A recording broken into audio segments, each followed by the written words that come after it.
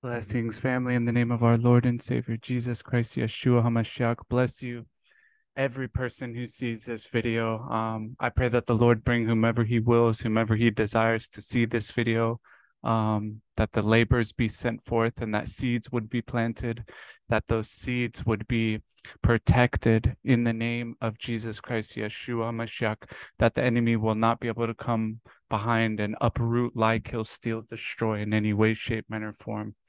Amen. So there's a couple things, you guys, that um, I'm gonna go, I'm gonna talk about as I do in, in most all my videos. But first thing I want to share that the Lord um that the Lord was showing me. Brothers and sisters, we have people who are considered pillars, um, pillars in the church, right?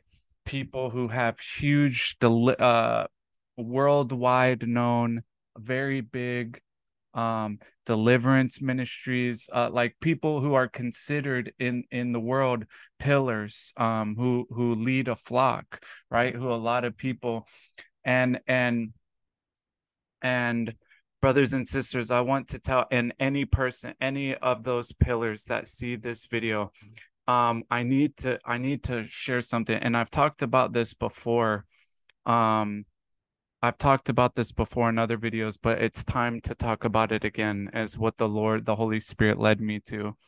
And it's it's about what this is referencing to in Ezekiel 33 and what Paul references in Acts 15 29. And it says, um, um, it says, we are met and you can read this it says but we are many. Surely the land has been given to us as a possession. Therefore tell them that this is what the lord god says. You eat meat with the blood in it. Lift up your eyes to idols and shed blood. Should you then possess the land? And and brothers and sisters a lot of people when i say that scripture they think that we are pertaining to the old covenant um the the dietary laws. And i want to i want to share with all of you that those old dietary laws okay yes all foods were made clean but brothers and sisters we are not to partake in the drinking of the blood of an animal. And that happens that that takes place when people are eating raw meat especially raw beef. When people go a lot of people they go to these you know they'll travel and ministry work or they'll go all over the world and then they go to a restaurant and they get a steak that's cooked uh medium or medium rare even. And brothers and sisters as per the word of the Lord, Old and New Testament, and and per the conviction of of the Spirit of the Lord upon every person who sees us. We yes, all foods are made clean, but we are not to eat Old and New Testament, we are not to eat an animal that has been strangled, who has died such a death like that, because that's a wicked thing to do. Um, and we are not to eat uh, the blood of an animal. And when you are eating uncooked meat, whether it be a raw hamburger, a raw steak, raw whatever, the hemoglobin in the blood, the life of that animal is still inside of the blood. And the enemy um the enemy does this in rituals right and and and the the life of that animal actually goes and empowers um um the person who partakes in it but you can be guilty of this indirectly. And I'll have everybody know that if people do not repent of this and they continue in it, those animals out on on judgment, which is manifesting right now and will manifest even more um, in in the months and and in the next few years to come those animals will actually lay accusation because their blood has a harmonic signature okay? And like when it says the blood of abel cries out to the lord day and night for vengeance it's the same thing with the animals. The lord can hear that blood crying out the offense of that person that they committed. And so i want to um encourage you uh whether you're a pillar uh whatever type of ministry you have a silent ministry uh, meaning you you just lift up offerings and sacrifices in your house. We are all called to the to some form of ministry but whether you're a leader or or not it doesn't matter. Any type of person whatever your role is do not partake in the blood and that's what it says here right? There's brothers and sisters that are out there that say yeah we are the, the we are the true sons and daughters of Christ right? We are the seed of Abraham too but yet they partake in this eating of raw meat. And brothers and sisters as you can go read Acts chapter 15 okay? And it also in acts it also talks about this um more. If you type in the word blood and you go into acts and read all the times it talks about those scriptures it's not just saying it here. But yes all foods are made clean brothers and sisters but we are not, we are to cook. If you eat meat you are to cook that meat all the way through old testament and new testament. That is still active today and I pray that the conviction of the Lord uh, would convict would convict you of these things, and I pray that you would repent, that the spirit of humility and repentance would come upon every person engaging in this. So, brothers and sisters, um, the I need to get my phone. So, this is how the battle in the end days the the the enemy the dragon is coming up against the dragon is coming up against the children of God. And I'm going to show you how what the Lord showed me and how this is manifesting. But first of all, a mighty praise report, brothers and sisters. There was a um a, a person who was literally raised from the dead literally raised from the dead. He was literally dead and he came back to life. Brothers and sisters, this is the word of the Lord. This is the sign that the Spirit of Christ is operating in the earth, is operating in the sons and daughters of, of El Elyon and the servants. Um, and so this is something, this is a mighty miraculous, this is just what it says. This is a miracle. This is and and I pray that you would glorify and praise the Lord and and that you would see this for what it is, that this is a sign that Christ is moving gloriously in the earth. Amen. Um so brothers and sisters, when it talks about um, the dragon and the enemy coming up against the children of God in the end days. That is what is happening right now. And what he's doing is he's presenting, he's working in people who are already marked with the beast, and he's working in people around the children of God to present stressful um, and situations where they must exemplify love and he, because what he's doing is he wants them to be caught up in their feelings and emotions because he wants to take their crowns.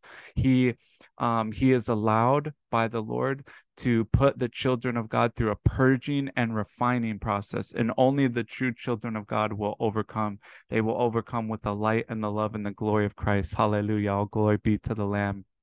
But what this is brothers and sisters is um, the Holy Spirit has given um, God's children, God's servants, his and servants and the prophets the revelation of how to interpret what these asteroids, these signs and the sun and the moon and the stars and what they mean. All glory to God.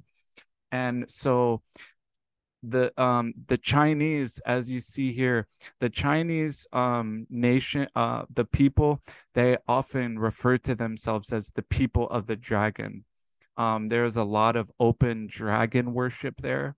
Um their their communist regime what they think and so you can kind of put together um where the spirit of the spirit of the dragon um and who that is operating through very largely um, I don't need to elaborate, I don't think anymore on that. But the way that they're coming up against God's people, one of the ways, this is what the Lord showed me. So they the Chinese, just like we launched a um, satellite to try to de- to deflect to try to deflect an asteroid. Um, I think the asteroid was Didymos, and we ran a satellite into it to deflect it.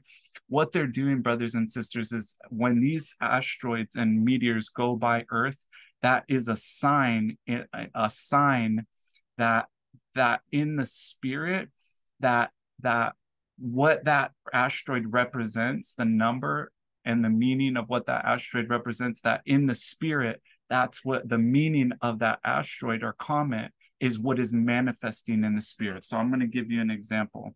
So here, the what the Chinese are doing, what they're going to attempt to do is deflect and interfere with the coming of this comet or or is it comet or asteroid? Asteroid named 2019 VL5. Okay.